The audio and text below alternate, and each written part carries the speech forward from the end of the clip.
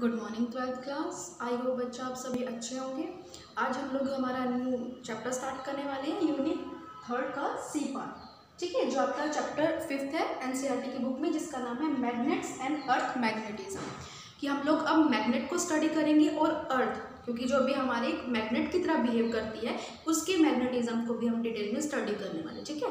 As per the C B S E आपका जो new syllabus है रिवाइज सिलेबस है, उसके हिसाब से हम पहले बता देती हूँ मैं आप लोगों को कि कौन कौन से टॉपिक हम लोग इस यूनिट में, ठीक है, इस यूनिट के इस पार्ट में डिस्कस करने वाले हैं। सबसे पहले है हमारा मैग्नेटिज्म अर्थ का जो अर्थ के मैग्नेटिज्म को हम लोग पढ़ने वाले हैं मैग्नेट के मैग्नेटिज्म को हम पढ़ने वाले हैं। नेक्स्ट टॉपिक है जो वो सम बेसिक ऑफ़ मैग्नेटिज्म कि मैग्नेटिज्म किन किन क्वांटिटीज़ पे, किन किन टर्म्स और प्रॉपर्टीज़ पे डिपेंड करता है, उसकी करेक्टरिस्टिक्स क्या है, उसको हम लोग इस टॉपिक में पढ़ेंगे.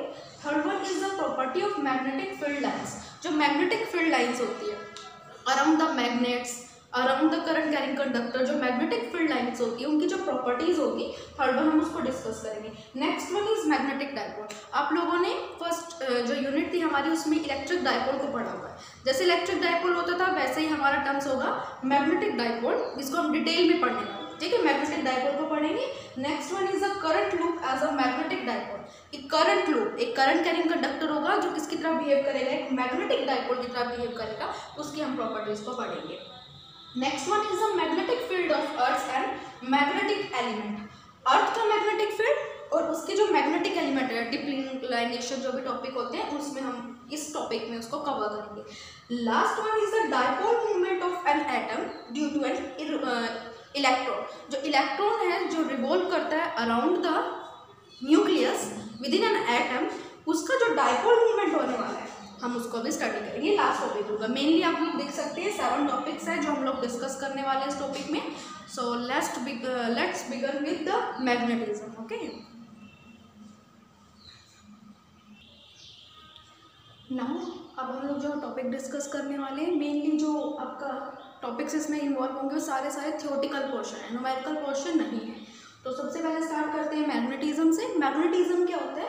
ये एक तरह का phenomena attraction of small small bits of iron steel cobalt nickel etcetera ठीक है स्मॉल बिट्स है किस किस के होने चाहिए? Iron steel cobalt nickel etcetera towards the ore is called magnetism magnetism एक ऐसा फिनोमिना है, जिसमें हम लोग जो स्मॉल बिट्स होते हैं किस किस के हो सकते हैं आपके? निकल की कोबाल्ट की स्टील के, ये सब अट्रैक्ट होते हैं टुवार्ड्स एंड ओर और इस फिनोमिना को कहते हैं magnetism the iron ore showing this effect iron ore जो क्या कर रहा है वो अट्रैक्ट कर रहा है।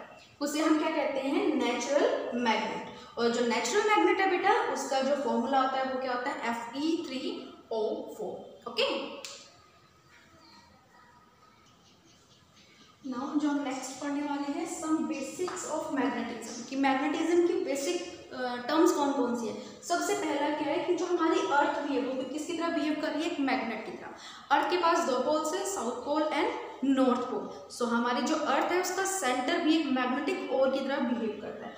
Next is the when a magnet suspended freely अगर आप एक मैग्नेट को फॉर एग्ज़ाम्पल मैंने एक मैग्नेट कंसिडर कर दिया ठीक है? इसको मैं सस्पेंड करती हूँ freely with the help of a thread ठीक है? जिसका इसको टाई अप किया तो जब भी मैं इसको रिवोल्व करवाऊँगी रिवोल्व करने के बाद जैसे ही इसको ये रेस्ट पे आएगा तो हमेशा comes into the rest along the north south direction ये हमेशा कहाँ पे रेस्ट में आने वाला है?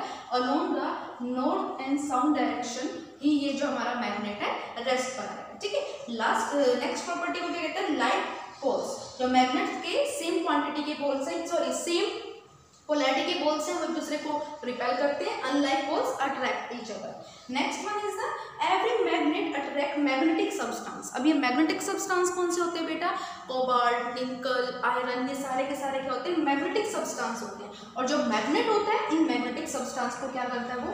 अट्रैक्ट करता है. ठीक है? लास्ट वन जो है हमारी प्रॉपर्टी वो क्या कहती है कि जो force of attraction and the force of repulsion है between the poles of the magnets वो किसके डायरेक्ट प्रोपोर्शनल होने वाला है? F is direct proportional to M one M two one R square what is this M and M two M one and M is the pole strength of either of the poles of the magnet may be or south आपकी मर्ज़ी M one को आप north या फिर south consider कर सकते हैं। ठीक है? And divided by the square of the distance square of the distance separation between the two poles of the magnet अगर मैं मान लीजिए कि कंसिडर कर कि जो मैग्नेटिक पोल स्ट्रेंथ दोनों मैग्नेट्स की। M one is equals to m m two is equals to m so मेरा एफ़ कितना हो जाएगा बच्चा? F is equals to k m square divided by r square ई के क्या यहाँ पे हमारा प्रोपोर्शनैलिटी कांस्टेंट है। के की वैल्यू कितनी होती है? K is equals to mu naught upon four pi so अगर मैं यहाँ वैल्यू पुट करूँ so the force of attraction और repulsion between the two poles of the magnet f is equals to mu naught upon four pi m square upon r square ये हमारा formula बन जाएगा ठीक है अगर मैं मान लूँ दोनों की पोल स्ट्रेंथ कितनी थी unity is equals to one and the distance separation between the two magnets is also unit is equals to 1 1 meter then and also uh, I was put that the value of f is equals to f की value मैं put कर दूँ 10 raised to power minus 7 so अगर मैं ये सारी quantities को यहाँ पुट करती हूँ f is equals to 10 raised to power minus 7 is equals to क्या था? Mu naught upon 4 pi. Mu naught upon 4 pi की वैल्यू मैंने आप लोगों को पहले भी बता दी स्टार्टिंग में। इन्होंने नहीं पढ़ा है स्टार्टिंग का पहले दिन वाला लेक्चर पढ़ लेना। म्यूनट अपॉन फोर पाई कितना होता है? Ten raise to power minus seven multiply यहाँ पे क्या हो जाएगा हमारा? एम वन एम टू की वैल्यू कितनी है बेटा? एम वन एम टू की अगर हमें वैल्यू कैलकुलेट कर देंगे डिवाइडेड में आर स्क्वायर आर स्क्वायर कितना है हमारा one so one square cancel out m square is equals to one square is equals to one so m कितना हो जाएगा हमारा प्लस माइनस वन हो जाएगा मैग्नेटिक पोल स्ट्रेंथ कितनी होगी प्लस माइनस वन और इसकी यूनिट क्या होने वाली है? इसकी यूनिट होगी एम्पेयर मीटर स्क्वायर ओके एक बार दोबारा से देखिए बेटा फिफ्थ जो प्रॉपर्टी थी, उसमें हमने क्या कहा था कि जो फोर्स है force of attraction and the force of repulsion between the two poles of the magnet is directly proportional to the pole strength of both the magnet divide by the distance of separation square of the distance separation between the two magnets ठीक है? ये हमारा formula हो गया।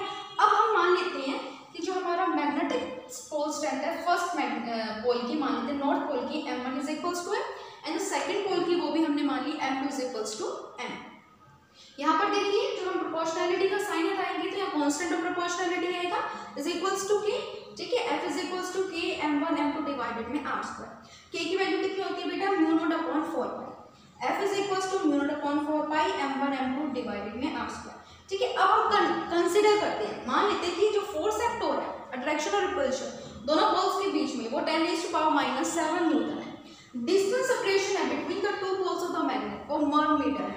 Pole strength हमने अभी already consider कर ही लिया एम के इक्वल और हमें पता है mu naught four pi is equals to ten raise to power minus seven होता है। ये लेट नहीं करना ये हमें पता ही है एग्जैक्ट वैल्यू अगर सभी क्वांटिटीज को हम इस इक्वेशन में पुट करें तो हमारी वैल्यू कितनी हो जाएगी? F is equals to ten raise to power minus seven mu naught upon five pi is equals to ten raise to power minus seven okay m one m two हमने क्या माना है दोनों को? एम माना है। सो एम स्क्वायर डिवाइडेड में one square ठीक है? सो यहाँ से ten raise to power minus seven से ten raise to power minus seven cancel out हो जाएगा। M square is equals to one so m is comes out to be plus minus one ampere metre ये magnetic pole strength होगी किसी भी एक magnet की जिसके दोनों पोल्स के बीच में डिस्टेंस सेपरेशन कितना हो? यूनिटी हो। और जिसपे फोर्स ऑफ़ अट्रैक्शन और रिपल्शन कितना लग रहा हो? Ten raise to power minus seven metre लग रहा हो okay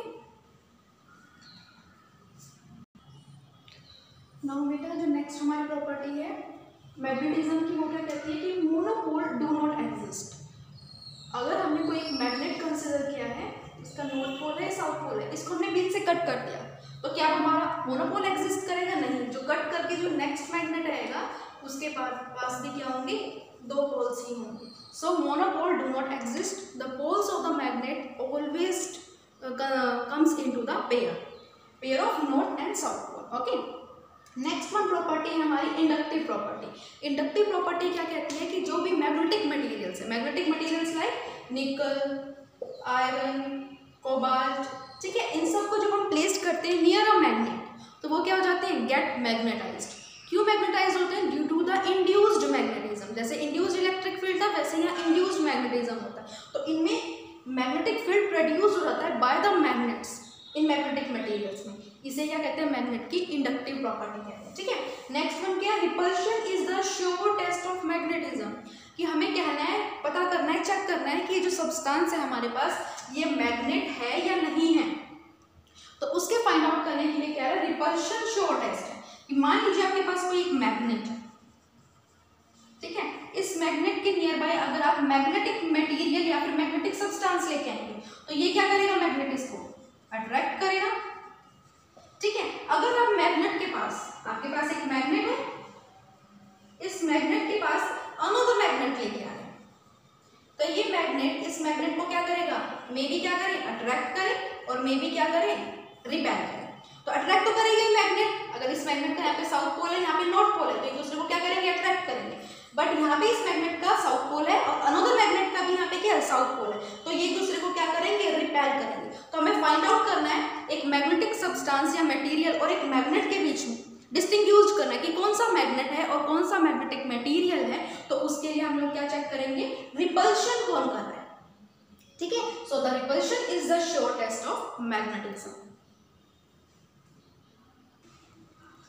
Now, the next topic is बचा, to find out the properties of magnetic field lines. कि जो मैग्नेटिक फ़ील्ड लाइन्स है, उनकी प्रॉपर्टीज़ क्या होती है? सबसे पहली प्रॉपर्टी क्या है? Magnetic field lines form close continuous loop ये क्या होती है? क्लोज होती है कॉन्टिन्यूस होती है. ठीक है? नेक्स्ट प्रॉपर्टी क्या कह रही है कि आउटसाइड द मैग्नेट जो मैग्नेटिक फ़ील्ड लाइन्स होती है, वो कहाँ से कहाँ जाती है? North to south outside the magnet magnetic field line की डायरेक्शन कैसी है बेटा? नॉर्थ टू साउथ ठीक है? Outside the magnet magnetic field lines is from north to south यहाँ पे ऐसे करेंगे हम लोग नॉर्थ टू साउथ नॉर्थ से मीट होती है लीव करती है नॉर्थ को और साउथ में क्या करती है? एंटर करती है. इनसाइड द हम लोग कहेंगे कि in sorry outside the magnet but inside the magnet magnetic field line कैसी होती है? साउथ टू नॉर्थ नॉर्थ से स्टार्ट होगी बाई चांस ये वाली है. तो ये क्या से हुई? नॉर्थ से सॉरी साउथ से स्टार्ट हुई कहाँ पे एंड हो गई नॉर्थ में। इसी तरह से ये वाली जो नॉर्थ से स्टार्ट हुई थी, ठीक है? आउटसाइड द मैग्नेट कहाँ पे एंटर हुई? कहाँ पे एंड हुई? साउथ में। और inside the magnet south to north so ये कैसे बन रही है हमारी? क्लोज्ड और कॉन्टिन्यूस बन रही है। ठीक है? नेक्स्ट जो प्रॉपर्टी वो क्या कह रहा है? At any point tangent to the magnetic field gives the direction of magnetic field कि मान लीजिए, मैंने ये मैग्नेटिक फ़ील्ड ले लिया कोई भी, ठीक है? तो ये क्या कह रहा है कि एट किसी भी पॉइंट पे हमें मैग्नेटिक फ़ील्ड की डायरेक्शन फाइंड आउट करनी है। तो उस पॉइंट पे हम क्या लेंगे टेंजेंट लेंगे मान लीजिए मुझे इस पॉइंट पर, इस पॉइंट ओ पर मैग्नेटिक फ़ील्ड की डायरेक्शन फाइंड आउट करनी तो मैं क्या लूँगी यहाँ पे? टेंजेंट ड्रॉ कर दूँगी और ये टेंजेंट क्या देगा मुझे?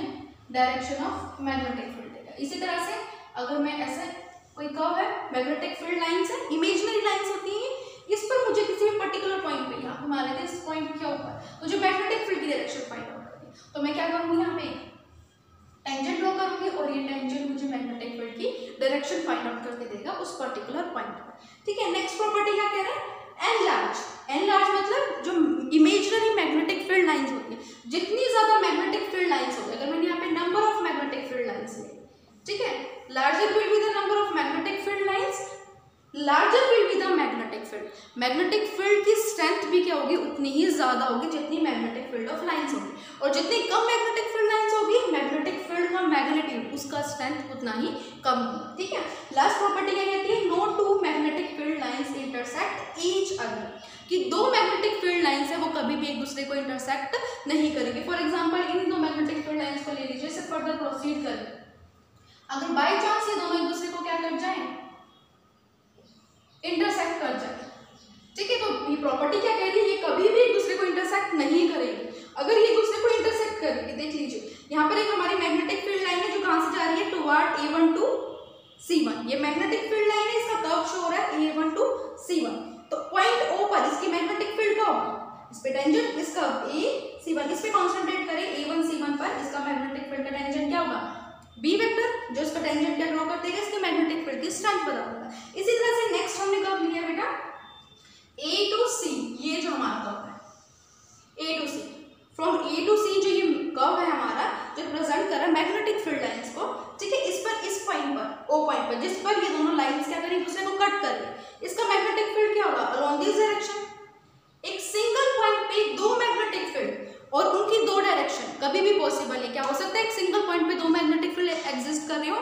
No it is not possible एक पोल है जो मैग्नेट का, वो सिर्फ़ एक ही पोलैरिटी को डिफाइन करेगा आइदर नॉर्थ और साउथ एक पोल कभी भी दो पोलैरिटी को शो नहीं कर सकता, ना ही टू डायरेक्शंस को वो कह सकते हैं कि डिनोट कर सकता है. So the no two magnetic field lines can intersect each other because intersect, then at the point of intersection, there is two direction of magnetic field lines which is not possible at all. कभी भी एक magnet एक particular time में या तो south pole को ही दिखाएगा। अगर ये इसका साउथ पोल है तो नॉर्दर्न नॉर्थ पोल होगा। ज़रूरी नहीं कि अगर मान लीजिए मैग्नेट का कौन सा पोल है? नॉर्थ पोल है। सो इसकी डायरेक्शन नॉर्थ ही होगी, इसकी साउथ नहीं हो सकती उस पर्टिकुलर टाइम में। ठीक है? तो इस चीज़ को ये ये हमारी प्रॉपर्टीज़ थी मैग्नेटिक फ़ील्ड लाइंस की। आई होप आप लोगों को अच्छे से समझ में आ गया हो अगर कोई भी फर्दर डाउट हो तो आप लोग पूछ सकते हैं। Thank you for watching